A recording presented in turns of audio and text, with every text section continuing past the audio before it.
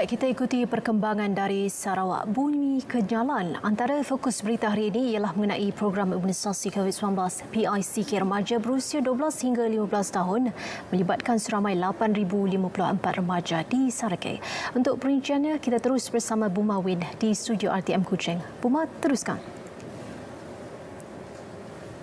Ya Nurul, program imunisasi COVID-19 kebangsaan PICK remaja berusia 16 dan 17 tahun di bahagian Sarike merekodkan jumlah kehadiran yang memberangsangkan.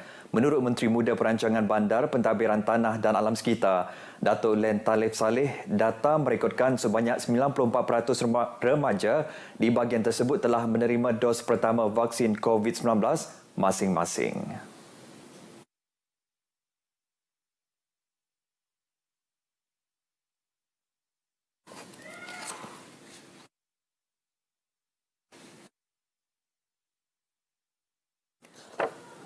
Lega dengan catatan data berkenaan, Datuk Len berharap remaja berusia 12 hingga 15 tahun yang mula diberikan suntikan vaksin hari ini akan mencatatkan peratusan kehadiran yang tinggi dengan pihaknya menyasarkan 95% kehadiran Lega untuk divaksin. Dengan catatan Beliau semasa melakukan tinjauan program vaksinasi di Dewan Sentral Sarike turut berpuas hati dengan kelancaran program berkenaan.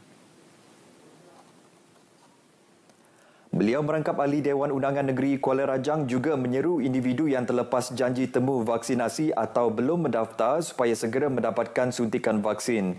Sementara itu, Residen Bahagian Serike yang juga pengerusi Jawatan Kuasa Pengurusan Bencana Bahagian Serike, Felicia Tan Yahua berkata, Pihaknya akan bekerjasama dengan pihak sekolah dan ketua masyarakat dalam membantu menyebarkan maklumat mengenai jadual vaksinasi pelajar mengikut lokasi pusat pemberian vaksin PPV termasuk di kawasan pedalaman.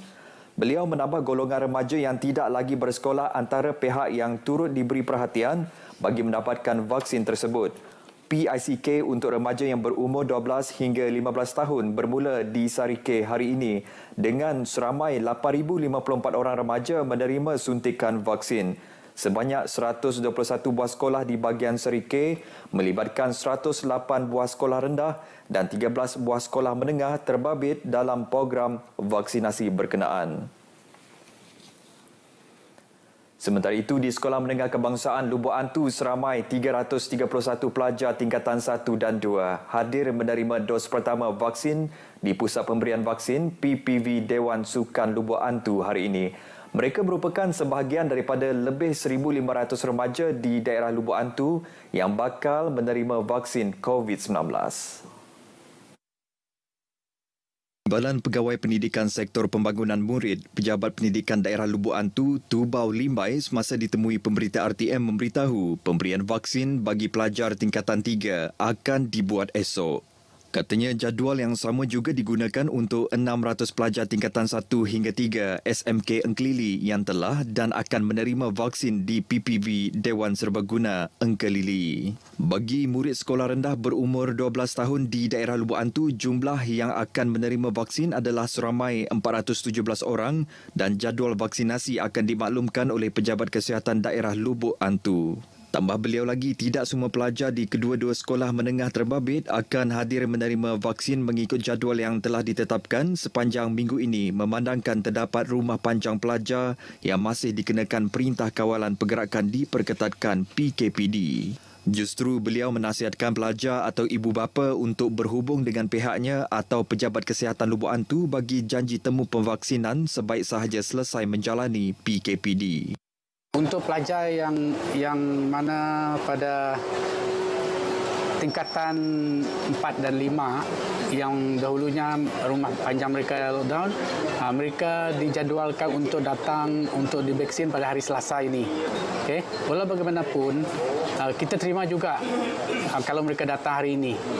Okay, untuk memudahkan mereka apa nama perjalanan mereka daripada hulu terutamanya pelajar-pelajar kita yang dari dari kawasan hulu sungai lah. Sementara itu, pemberian vaksin di daerah Seri Aman untuk remaja juga bermula hari ini dan dianggarkan seramai 3,000 pelajar terlibat.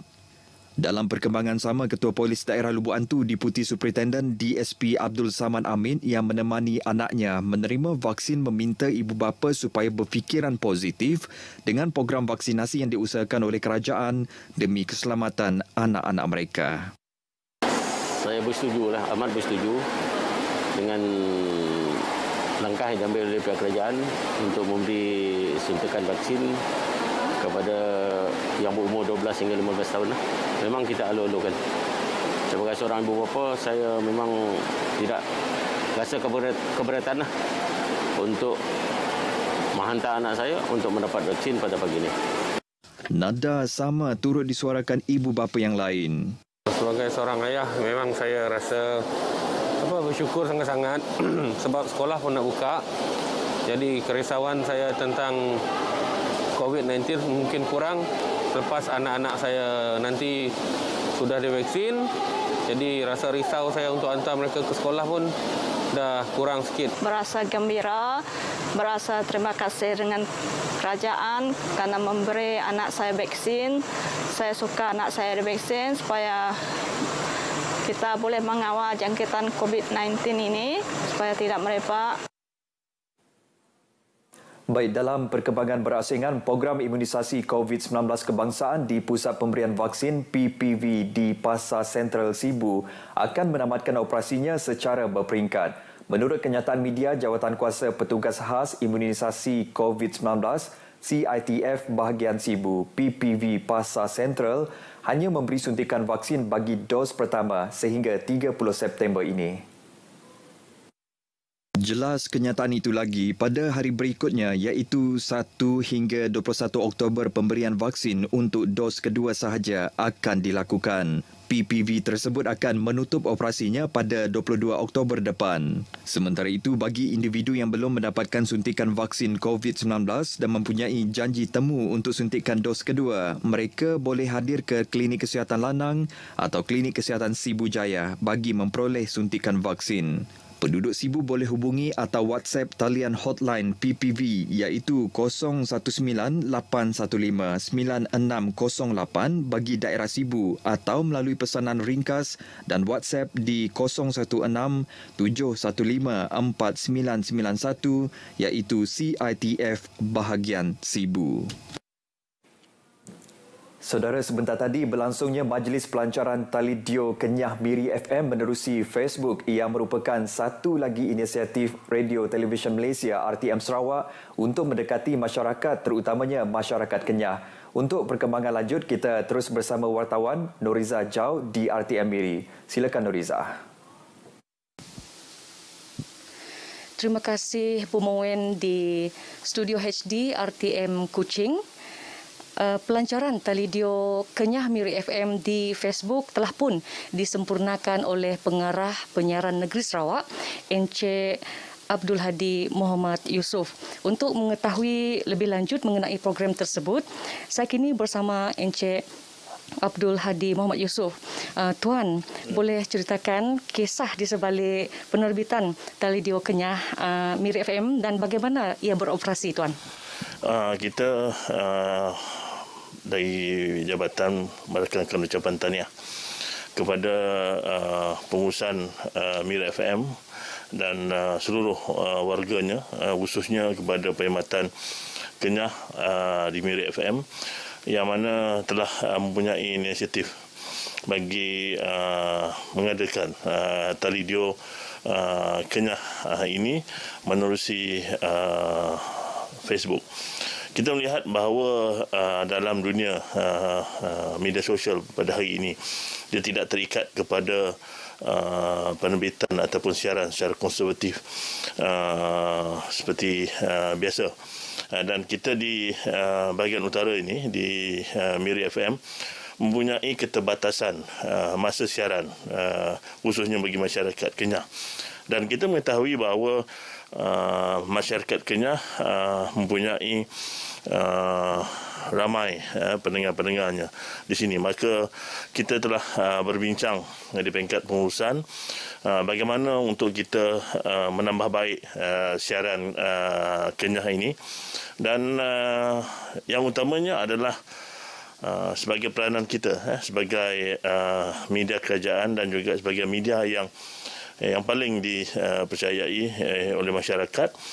Yang mana uh, kita mengetahui ya, bahawa Sarawak ini mempunyai uh, latar uh, geografinya yang bergunung ganang khususnya di bahagian utara ini. Dan sudah tentunya keterbatasan ini menyebabkan masyarakat dan juga rakan-rakan pendengar kita di Baram, Belaga khususnya uh, tidak dapat uh, mendengar uh, siaran kita. Untuk itu uh, bagi Perkhidmatan Kenyah uh, mereka telah uh, mengutarakan uh, idea mereka uh, untuk mengadakan uh, siaran uh, Kenyah ini menerusi uh, Facebook dan uh, kita di Jabatan amat mengalu-alukan. Dan ini adalah merupakan satu platform baru uh, dan mana media sosial adalah merupakan uh, satu uh, platform yang uh, digunakan oleh masyarakat uh, di seluruh negara khususnya kepada generasi muda. Dan kita berharap bahawa uh, siaran ini akan dapat uh, menarik uh, lebih ramai lagi pendengar-pendengar daripada masyarakat Kenyah uh, khususnya daripada generasi muda untuk bersama-sama dengan kita. Dan uh, ini adalah merupakan satu usaha yang uh, cukup uh, murni dan inisiatif ini uh, yang diketuai oleh uh, Puan Lydia di Miri FM. Uh, saya yakin uh, bahawa uh, masyarakat Kenyah uh, di bahagian utara Sarawak ini dapat mendapat manfaat daripada uh, siaran uh, Kenyah ini. Ya, baiklah uh, Tuan, terima kasih Encik Abdul Hadi Muhammad Yusof. Ya, uh, saudara setakat ini saja daripada saya untuk lintas langsung petang ini. Sudi-sudikanlah untuk mengikuti program menarik di Talidio Kenyah Miri FM ini. Uh, walaupun ia bersiaran di Facebook dalam bahasa Kenyah, bak kata pepatah, tak kenal maka tak cinta. Sekian dulu, kita kembali ke Bu Mawen. Silakan. Baik, terima kasih Noriza atas laporan anda. Baik, saudara, sekian dahulu perkembangan dari Sarawak. Kita kembali bersama Nurul di Angkasa Puri. Silakan Nurul. Terima kasih, Bumah.